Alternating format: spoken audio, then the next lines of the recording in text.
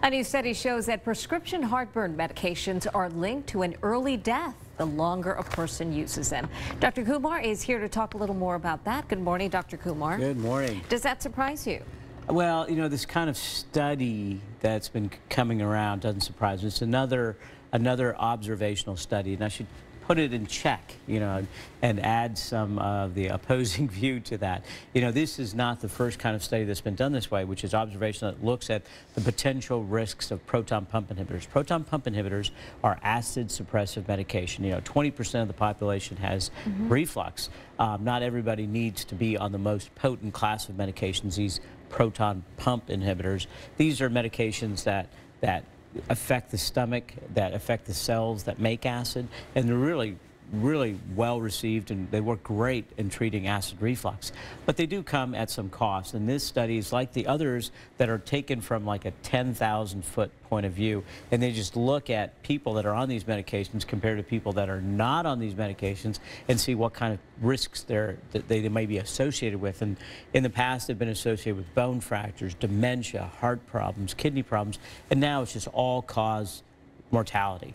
And it's a 0.25, 25% risk, but uh, increased risk. And you have to weigh that in context. When they use these big numbers, they don't really mean what they what, what, it sounds like. Because it's such a small survey of those who they surveyed. Absolutely. So when you say a 25% increased risk, like if you had a 4% increased risk of a complication or something, then if you had a 25% increased risk, that goes to 5%. That's 25% of 4 is 5. So the absolute risk is still like 1 in 500 people on PPIs would, would would come to maybe perhaps some harm. So it's not like 25% of the population is at risk. You have to be careful how you evaluate these numbers. The analogy I would use would be like uh, at a fire. You know, it could be that at every fire there's a firefighter, right? Mm -hmm. So are you now going to say that firefighters are the cause of fires? You know, so if you have a problem, if you have dementia, if you have mortality, if you have heart problems, and and there's this this innocent bystander who might be, you know, it, it could be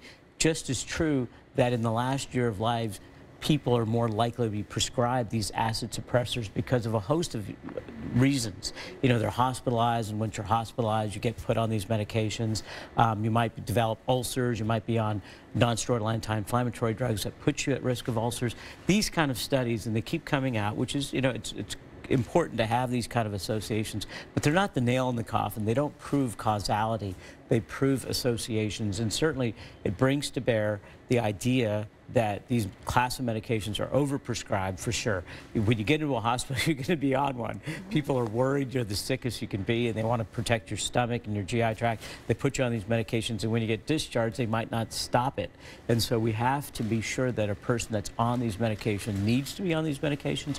But if you need to be on these medications, if you have severe acid reflux, these, this class of medications has been proved largely safe in long-term studies. We've, looked, we've had these around for 25, 30 years. Um, this, these kind of studies do give us reason to pause and make sure that you need to be on the medications you're on, but it doesn't, we shouldn't run scared, mm -hmm. you know, because of these medications, these over-the-counter medications taken as, as, as, as, as, as Yeah, I, mean, I think it works. I think it's okay. So just talk to your doctor. That's right you know, make sure that you understand if you're on these medications long term that you discuss with your doctor that you, that the risks truly outweigh, um, the benefits truly outweigh the risks. Okay, Dr. Kumar, as always, thank you so much for joining us. If you have a question for Dr. Kumar, email us at askdrkumar at gmail.com and don't forget you can like Dr. Kumar on Facebook as Dr. Kumar or follow him on Twitter at MD Pradeep Kumar. We'll be right back.